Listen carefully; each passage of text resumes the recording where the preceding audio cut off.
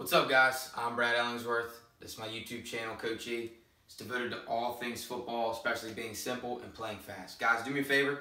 At any point in time in this video, you enjoy the content, hit the like button, drop a comment, and definitely subscribe. Uh, today, no X's and O's talk. Um, today, I want to talk about my struggles as a young and inexperienced uh, head football coach. Um, it was filled with adversity um, some stuff I want to get off my chest in terms of I think some of my struggles can help some of you guys. And I'm going to try not to be long-winded, but um, it's probably going to be a long-winded presentation going through some of these things and elaborating on them. Um, one, one thing I found is that people a lot of times like to put out there the things that they do well and their successes. Um, I don't think a lot of people want to put their struggles and their failures out. So that's what I'm going to do today. And hopefully maybe you can take something from it. Um, so I'm gonna go through each point. I kind of I kind of wrote some bullets to kind of keep myself on uh, on task and and straight. Um, but I'm gonna start with uh, the first topic of conversation, the first struggle, which was um, COVID. So, you know, I'm 28 years old. Was hired as a uh, you know coach in in April um, had, had our season, and, and, and COVID was not the way that I thought I was going to go into this thing. So here in Delaware, we had to play with masks um, and just all kinds of other craziness. I mean, the practice plans, we there were certain practice plans we were only allowed to be in pods for 10 minutes at a time. Uh, water, the kids had to provide their own water, not only just um, at practice, but during the game as well. We could not share community water jugs. Um, we had to have hand sanitizing stations. Above and, all of that, though, one of the hardest things was the school that I coach at, you know, was fully remote, right? So kids did not come in the school building for school. So this caused all kinds of issues, especially uh, I'm I coach at a county technical school. So we have kids living in different parts of the county. And we used to, in a normal year, run a transportation bus that drops at different hubs in different towns. But um, they didn't run the buses this year. There were state regulations on how many kids could be on a bus. And just because of that, they couldn't run them. So we probably had about 20 to 25 less kids in our program this year than normal. Um, I don't know what that equates to from a percentage standpoint, but I mean, transportation was tough. I mean, transportation was tough.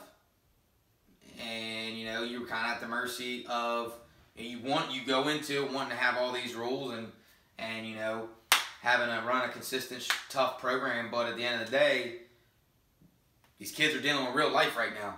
And you're kind of at the mercy of how they can get to practice. And thankfully, we didn't run into too many issues with that, uh, with the kids that could play, but it was a challenge. Um, I, I, had kids working, and, and this is one thing I didn't understand. You know, they're supposed to be learning during the school day, but, you know, I've got seniors and juniors that are driving themselves to work, and they're getting off work and coming to practice, and, I mean, it, it's just, uh, it was it was tough. It was a challenge. It was certainly a challenge. Um, and, and here's the other deal is, you know, we were shut down. We played our first game of the year, so we practiced for four weeks, no scrimmages. Played our first game of the year um, and had a JV player uh, test positive and a JV coach test, well, he was kind of an in-between coach, test positive, and we got shut down for two weeks. We got shut down for two weeks, and I can't even tell you how, how difficult that is when you're trying to get something rolling and you shut down for those two weeks. The only way we communicated was over Schoology. And yeah, I mean, I held Zoom and film sessions and things of that nature. But I mean, it's not the same as getting repetitions, right? The repetition repetitions are the father of, of teaching. I mean, so, or mother or whatever. But but it's not out on the field getting reps, right? And so when we came back, we missed week two and week three. When we came back in week four, you know, the team we played had not been shut down all year. And, and trust me, by no means that is not me making an excuse. Um, but I, but what I am telling you is, it gave it, it it was a struggle. I mean, I was staying up like, how in the world are we gonna play this football game? We only played one game at, at game speed, and then we were shut down, and and so we we you know had to take temperatures every practice. It was a mess. It was a struggle. So, but but I'm, I want to do that one first to kind of get that one out of the way because I'm hoping that that that's an asterisk and that that one is in a league of its own. And hopefully after this year, for the most part, um, we're not gonna have to deal with a lot of that stuff. Now, on to the, the meat and potatoes. So, I'm going to tell you this one thing, and if you're an aspiring head coach, one thing I learned this year is you better love the game. You better love coaching. If you're aspiring to be a head coach because because you you want the title of being a head coach, it's going to chew you up and spit you out really quick and really fast. Um, because I mean, you you can notice right if you look up here on the board, there's nothing really about X's and O's up here. Um, and it's one thing, like when I was a coordinator, I never got, I never realized, you know, my head coach at the time when I was a coordinator and, and a position coach at other schools, I didn't see all this stuff. I didn't see it. And the amount of the burden that, that lays on your shoulder, you better love it or it's going to chew you up and, and spit you out. So the first thing I'm going to talk about is school support. I, thought because of our circumstances, our school support was all right. I thought I thought the school support was good um, because everybody right now in this in this year is is just struggling to keep up. Um, school administration, all of us, all of us are, are, are floundering trying to figure out how we proceed with our life as normal as possible. So, you know, this is one year where, you know, I kind of expected the school support to be a little hit and miss, although I will say I thought for the most part, as a young guy, I was supported pretty well. I'll be honest, the only concern I had was when, and, you know, I'm going to be sitting down soon with our superintendent and, and kind of, this is one thing I am going to voice. Um, the only concern I had was, so we have our headsets that we've had at this school for eight years. And they were they were a problem last year. I was an assistant on the same team last year. And they really were hit and miss. They were really, really there were there was one game last year where we didn't get them to work, one and a half. So it was time for a new pair. So first game of the year, they don't work. And to be honest with you, they never really worked at any point in any game throughout the year. I mean, the last game we kind of got them ish working, but um, so I was told I, I, I expressed my concerns like we need headsets. I mean, we got teams with Hudl Sideline and things of that nature. We don't have that, and now we don't even have headsets. We don't even have a way to communicate. So I kind of felt like we're going into games deaf, dumb, and blind, and and I had I had all these different response game day responsibilities for my coaches in terms of communication and position watching um, that just never took place.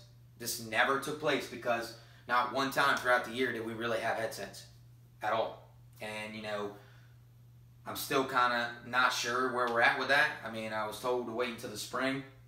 So I don't know. But, you know, that is a concern of mine because, I mean, as you know, coaching football, I mean, we, we have to be able to transfer information and we have to be able to that that communication is is extremely important.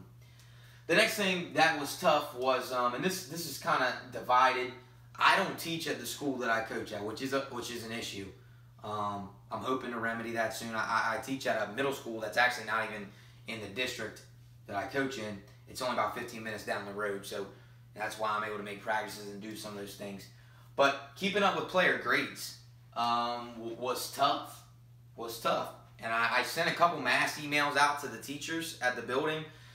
I got some really nice responses, and I got some responses from teachers that were just like, well, you need to figure out a way to do it yourself. We, we, we're busy enough. So again, I'm going back to any aspiring head coaches. Like this isn't stuff that I thought about. This isn't this isn't stuff when I thought about being head coach that I, I really thought about. But like, yeah, teachers told me like figure it out.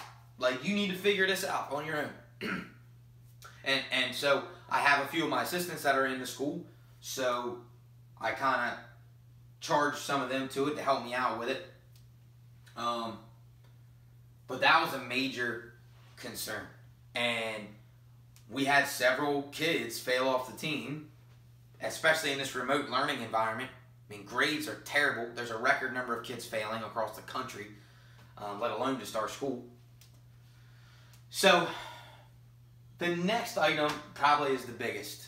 I'll be honest, probably is the biggest, uh, along with when we when we kind of get down here and here. But um, the coaches, your coaches. Um,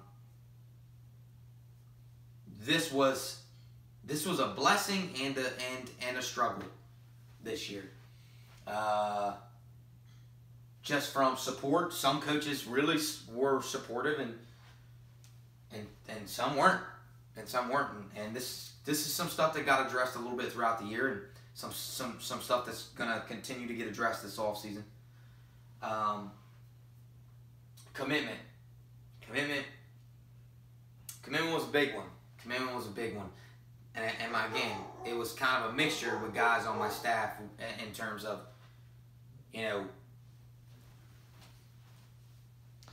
uh, time that they give. A lot of coaches, I don't think, quite understand the, the time that it takes to be successful.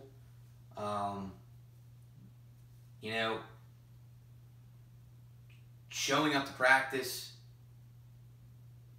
beforehand to set up your your drills, coming to workouts, watching film, your position, um, things of that nature. I mean, that, those are some things that what some coaches it and, and some didn't, and that, that's going to get addressed this all season. And like I said, start towards the end of the year, I started to address some of those things. And as a young guy, that was tough for me. It was tough for me. Um, but I, I stepped into that role um, a little bit more towards the end of the year. Um, and I, I'm not going to get into too big of details on this out of respect for him because I just had my first conversation with this coach the other day. Um, but I had a coach that was my defensive coordinator, my O line and D line coach, who decided mid year that he couldn't coach anymore because of COVID. And the the week that he decided he couldn't coach, and, and, and he didn't pick this timing intentionally. I, I don't believe that. But just the timing was that week we had to play the eventual Division One state champs in our state, and then after that we had to play the conference champs, which th- th- those state champs and the conference champs were all in the same conference. So they're two really good football teams, two of the best in the entire state. Um, obviously, one was a state champ this year. Um, you know, so that thrust me into a position where I was the head coach, the offensive coordinator, and the defensive coordinator, and the O line, and the D line. I, I mean, it was I had a coach out for COVID at the time. I mean, it was or had to quarantine. Uh, it it it was it was tough. I mean, it was really really difficult. And again, not something that I pictured would be um, in this flowery image that I had in my head of, of being a head coach. Uh, professionalism, man. Like some coaches were really professional, and some coaches weren't. I brought in a, I brought in a lot of young guys this year, inexperienced guys. I mean, things like you know not texting or, or at least call. I did hire some coaches that don't work in the building, so I knew that sometimes practice attendance would would be an issue, but at the same time, just sometimes not showing up. Like you didn't send me a text, you didn't you didn't call me that did get addressed at the end of the year. That got brought up in, in our last meeting. Like some of that stuff, man, that I just didn't think I was going to have to deal with. Um, you know, and, and, listen, getting getting high school coaches is hard because this is here in Delaware. It's not like you know I make a a, a forty five hundred dollars stipend. You know, so it's not really you're not making a ton of money. You only got so many coaching positions. Uh, you know, and, and then you got to have guys, if they're not working in the building, you got to have guys that are available to make it to practice at 345, and that can be tough. Uh, delegate. This is one thing that uh, that I failed at, and, and it is and, and it's on me. And I didn't put my coaches in good positions. I, I had these plans, you know, for them all, these these grading sheets for them to, you know, grade their players and their positions and uh, like I told, told you before, game day responsibilities and all these different things, especially those two were big that because of those things that I just mentioned, the COVID, the quitting, the, the all this stuff, I just, it became so much that I ended up just internalizing and shouldering it all.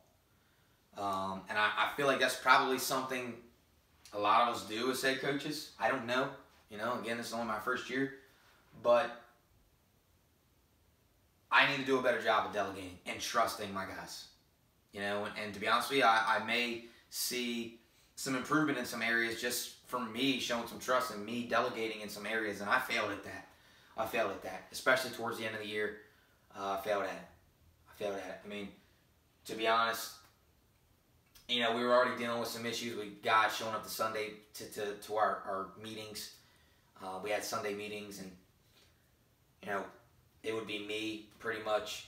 We'd have a quick meeting, and then I just kind of shouldered everything. I would be at the school seven hours on Saturday, seven hours on Sunday, game planning, scouting reports, laundry, all this stuff. And I'm going to get to all this down here, but I need to do a better job of delegating.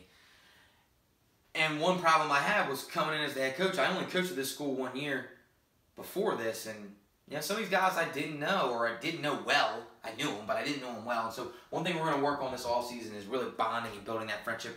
You know, speaking of, we got a, a coaches party. I'm throwing a coaches party um, Saturday, just just for pure because we need to be boys. I mean, I think bonding as a coaching staff is so important so that we have each other's back. Um, I mean, it's just a lot of you know that is so important. I can't ever state that. So I'm hoping to pick that up.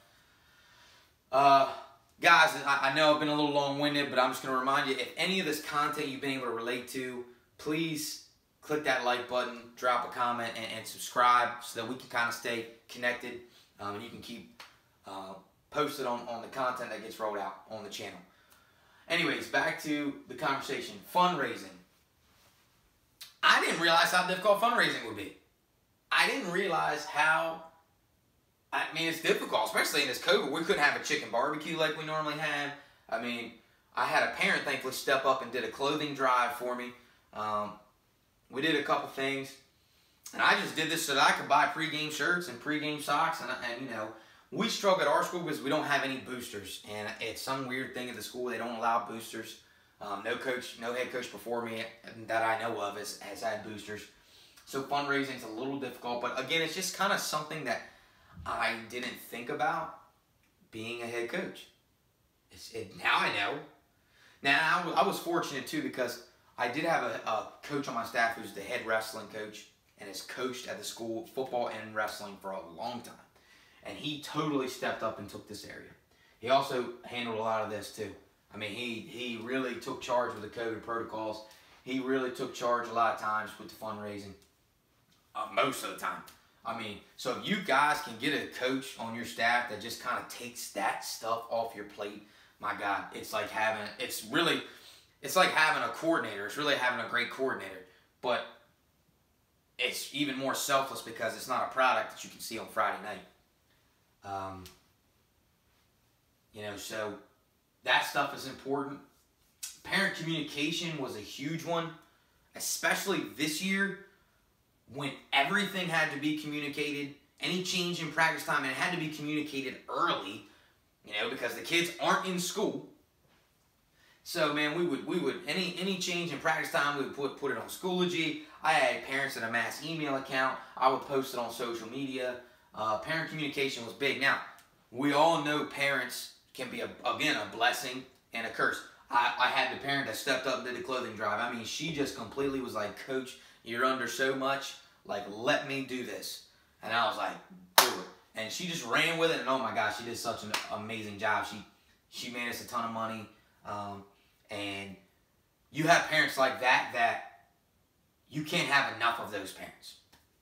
I, I, you know, I got a phone call from a parent a couple weeks ago that they just called to tell me how great of a job they thought I, I did. And man, that meant a lot. I mean, it really, it really, really meant a lot. So you can't have enough of those kind of parents. Now, you also have parents that um, this year, I had a parent, it started the second that I um, got the job. And, you know, long the, the long and short of it is, is, uh, you know, thought that the, the, the player was a little bit better, a lot better than what he was. And, I mean, I won't go into too much detail over it, but we, you you will experience that. And there there was meetings at the school held and over this over this a student and, and, and you know it was student athlete and it was again in the mix of all this something that you don't think of. Has nothing to do with X and O's but something that you don't think of. And just tough. It's just tough to deal with. And of course you got the parents in the stands that are throw the ball throw what are you doing? You know that you know um, are football experts but that, you know that kind of goes with the territory. But, you know, that was a big thing. This I want to talk about a little bit. Staying emotionally consistent and being the leader you're supposed to be. We went 1 and 4 this year. Our first game we lost 14 to 0. We didn't play again until week 4 we lost 30 to 15. The next week we played the eventual state champions. We lost 35 to 0. And then we played the eventual conference champions. We lost 50 to 7. Um, and then we won our last game. My point in telling you that is uh, I didn't have to worry about this before. When I was a coordinator, all I was worried about was offensively was scoring points. I didn't really, you know, I don't want to say I didn't care about anything else, but I cared about how many yards we got, how many points we scored, blah blah blah blah blah blah blah. And then, man, was I so off touch? Was I so off base? Um, this year, I really had to think about how the game worked together, how the game fit together, and the personnel of my kids, or the, and, and or you know my kids in terms of how they fit together and made up of the personnel of my team. And I think it's easy to stay emotionally consistent when you're winning. Uh, this taught me a lot of lessons. Being one and four taught me a lot of lessons. Um, there was a lot of times where we were getting our ass beat, and of course I want to show my frustration, and of course I want to show that I'm pissed, or of course I want to hang my head, right? That, those thoughts go through your in the back of your mind. I don't care who you are, or at least, or at least the, you know, oh my God, this, you know, but every single time, right? We're getting beat 50 to seven. Every single time the team, other team scored on us, I'm walking all the way out to the field, picking our guys up. Every, even, even when it, even when the last touchdown was scored, uh, you know, I'm going out there pick your heads up, picking my guys' heads up. You have to stay emotionally consistent. The after get a post game speech. What am I going to do? You know, of course, you want to be pissed off. Nobody likes losing. At least you shouldn't. If you do, you're in the wrong business. But I had to stay emotionally consistent. What am I going to do? Am I going to just just tear down the kids after they got beat? They know they got beat. They're not stupid. You know, they're not stupid. And we got three, four, whatever amount of weeks left. And that's hard. Up until the last game of the year, we were 0 and 4. And we had come off two ass whippings. I mean, it, that was a stretch of games. I mean, at practice every day. I had to stay the same that I was at practice from the first preseason game. And that was something I never had to do before. Never had to do it. Uh, and that is difficult. Because everybody's looking to you right? Everybody's looking to you for how are you going to take this? How are you going to take being 0 4 and having your ass whipped? Or 0 3 or whatever it may be. How are you going to act, coach, coming off the 50 to 7 loss? I'm going to act like the same I always act because I'm authentic. but I knew that was important. Of course, it's harder to go out there when you when you you know you're not very good, but you have to stay here to keep your kids bought in. It was something that was I, I, I learned on a whole nother level this year. Um, and the next thing is time. I'm going to go way back to the first thing I said. Uh, if you're just wanting to aspire to be a head coach for the title, this thing will chew you up and spit you out. You will spend so much time. You know, my fiance this year, she she really she got a taste of it like we didn't see each other. Weekends were shot. I mean, it was it was tough. It was tough. We your your family time is going to be shot. I mean, seven days a week. I mean, seven days a week doing laundry. You know, in there a couple hours early, setting up for pregame, especially for COVID. Um, you know, don't even don't even count all the hours that are spent on Saturday and Sunday game planning and, and like I mentioned, scouting reports and, and player grades and things of that nature. Um, so, anyways, uh, listen, I won't I won't go anymore because I know this has already gotten long winded. But um, if you enjoyed what was said or you could relate to it a little bit, uh, listen, click that subscribe button and, and and stay connected with me so that you can um, be known or, or, or stay up to date when when new videos come out. All right. This is my YouTube channel, Coach E. I'm Brad Ellingsworth. Be simple, play fast.